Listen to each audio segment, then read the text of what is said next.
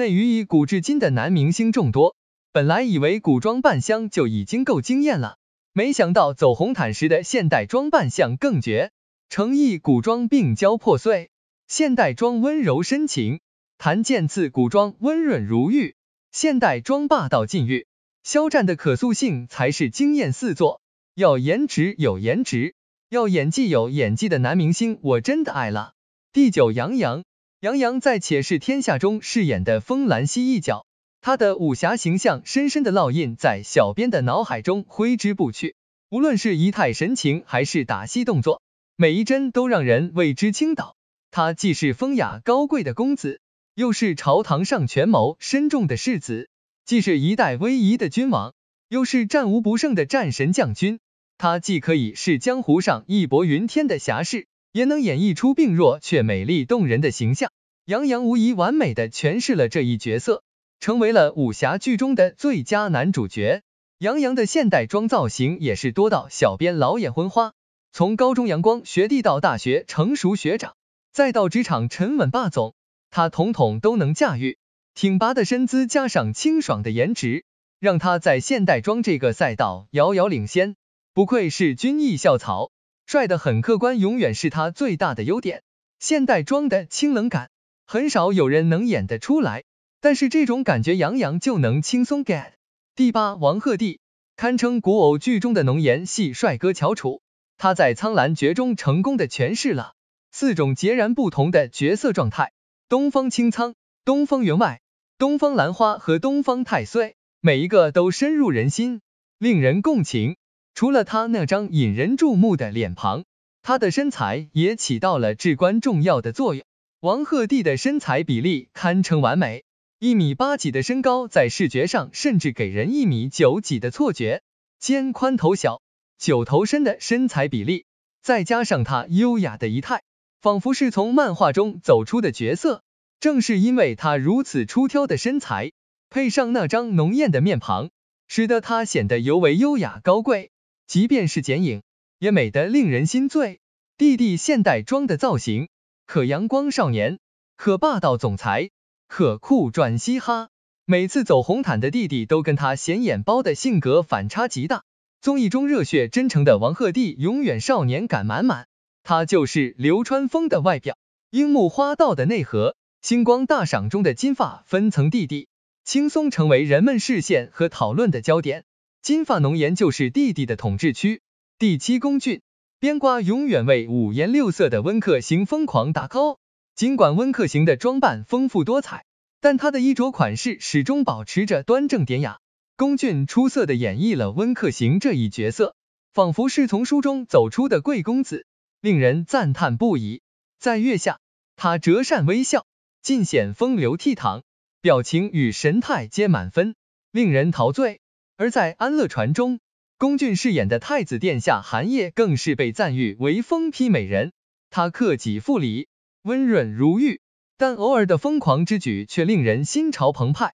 当他素发背手站在山水之间，那份唯美的意境和古典的韵味令人难以忘怀，真的是一个极具古韵的美人啊！要说龚俊的现代装，还得是各个颁奖晚会活动的造型。红毯小王子出场就是王炸，贵气感满满。明明外形是清冷的的贵公子，笑起来却温暖治愈。红毯花蝴蝶龚俊没错了。第六任嘉伦，锦衣卫陆大人谈恋爱前世超为总裁，意气风发少年郎，谈恋爱时又暖又坏又虎妻，年龄倒退成小狼狗和小奶狗。江南穿上便服又是翩翩公子。简直满足了所有女生的梦想。陆毅太难演了，吹爆国超演技，在剧中的衣服数不胜数，他穿在身上相当衬他。单拿衣服可能不会觉得好看，但他的脸、身形、气质拔高了衣服的配饰度，让每套服装在他不同时期、不同环境、不同心境时，完美的诠释了该有的特点。出席各大活动、接受采访的国超真的好帅。只能说前期参加选秀的国超对自己的颜值是有清晰的定位的，完全满足爱豆长相的一张脸啊！现代周生辰的人夫感太强了，笑起来的括号又有点萌，难道这就是周生教授的反差感吗？第五，邓为粗布麻衣难掩清贵之气的现实版。有舞蹈基础的人真的不一样，体态很舒展，他的气质很好，明明一百八十三，但是有娇弱的感觉，一点不油腻。演吃醋撒娇的戏码也很自然。小狐狸涂山景真的被邓卫演活了，举手投足皆是古代世家公子的礼仪风度。深情的狗狗眼好像会说话。邓卫应该是这几个人中古装和现代装反差最大的了。剧中是温润如玉的贵公子，现实中确实都挺潮男，男友感满满。即使是基础款衣服上身，邓为也能穿出潮流感。也许是因为他有一张超养眼的脸吧？真的不考虑演个现代剧偶像男主吗？哦哦，black 西装被他穿出素性紧身衣的感觉，宽肩窄腰大长腿真的赢麻了。配上清晰的五官和轮廓，此刻小说里霸总刀削般的脸庞有了具象化。第四谭健次，谭健次的古装仪态真的很舒服，看上去很仙很优雅，但是又很生活化，就好像古代贵公子日常生活就真的是这样的，没有什么刻意的痕迹。小编代入女主，这不是手拿把掐她，每次眼里含泪或者哭的时候，整个下眼睑和眼尾都会发红。显得又艳又媚的谭多多，你真的别太会演。多多在综艺里这个带花造型太惊人了，仿佛看见了一书生苦读数载，高中状元意气风发。我说什么时候能带着这套装造演一部电视剧？男主多多演的冷艳香柳，精致又破碎。香柳的确人间角色，美人氛围感拉满。糟糕，是被香柳硬控的感觉。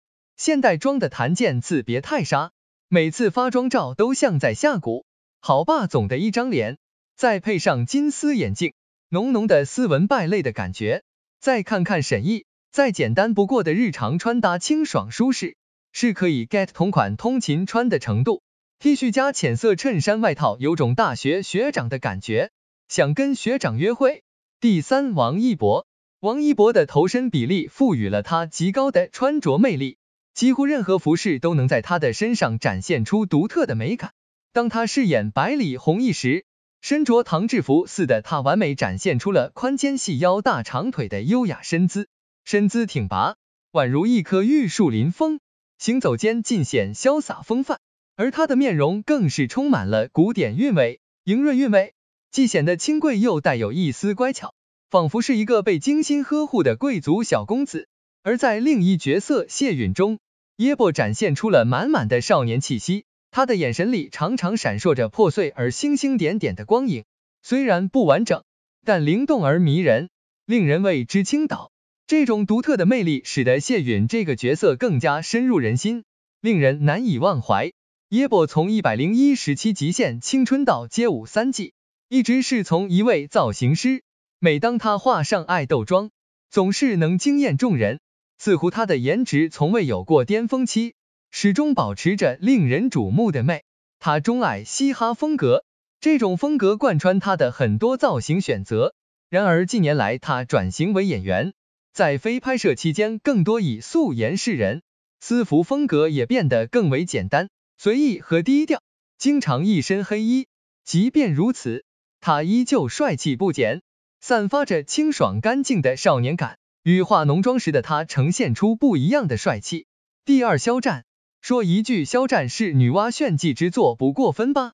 他那张精致的脸庞仿佛是大自然精心雕琢的艺术品，即便是不做任何表情，也足以让人沉迷，仿佛被其魅力所蛊。肖战更是拥有具抛脸的特质，他一人千面，每一个角色都赋予了独特的灵魂，无论是倔强的严冰云。金贵的北唐漠然，侠义的魏无羡，还是善良的张小凡，他都能将角色的精髓诠释的淋漓尽致，让人印象深刻。肖战拍摄古装打戏更是行云流水，随着动作起舞的衣摆狠狠为造型加分。我说肖战真的就是天选古装人。肖战凭借其独特的魅力，无数次被邀请出席各类晚会和活动，深受时尚圈的喜爱。他拥有无可挑剔的身材比例，仿佛是一个行走的人形衣架，无论何种造型都能完美驾驭。肖战的私服造型总是干净清爽，彰显出他独特的个人风格。他的穿搭既休闲日常又不失时尚感，令人赏心悦目。虽然时尚的完成度往往依赖于脸和身材，但肖战始终追求适合自己的风格，从不随意乱穿。他的时尚品味和穿搭技巧真的赞。第一，诚意。古言有云：人生欲满则溢，当留白三分。在诚意的脸上，留白的韵味之美被彰显的淋漓尽致。诚毅的古装造型真的没有上限吗？每次都觉得是天花板造型时，结果又会被突破的新造型惊艳到。虽然在沉香如屑中的白衣造型很多，但每一套都有它的特点，很符合应渊当下的心境。而且诚毅真的是巨抛脸，演一部戏一个样子，甚至一部戏里分饰好几个角色的时候，更是各有不同。其实有些剧的头套造型都挺像的。但是就是能让观众看到不一样的他。二零二三年爆火的《莲花楼》，李香怡的红色战袍演出了少年气，李莲花的森系绿色长袍又有种脱离世俗出淤泥而不染的清爽。程毅自身的古人风姿跟造型的适配度极高，堪程毅演戏主打一个视听享受。而在南风知我意饰演严乃帅的傅云深，温柔又乖巧，与冬日雪天的氛围感太适配了。诚意赴山海，以血剑装惊艳亮相，犹如一面棱镜，折射出他在演艺道路上的执着追求与无畏探索。这不仅是对角色的深度挖掘，也是对自我演技疆界的勇敢跨越。当观众透过屏幕看到那张被血痕斑驳的脸庞，感受到的不仅仅是视觉的震撼，更是对角色灵魂深处的共情与理解。诚意的这次血剑装尝试。无疑将成为其演艺生涯中浓墨重彩的一笔，也为《富山海》这部作品增添了更为厚重的艺术底蕴与观赏价值。我们期待未来的影视屏幕上能看到更多如程毅这般敢于突破、用心演绎的优秀演员，共同书写中国影视艺术的新篇章。今天的盘点就到这里了，大家觉得谁的古装造型更胜一筹呢？你更喜欢哪位男明星的造型呢？一起留言讨论吧。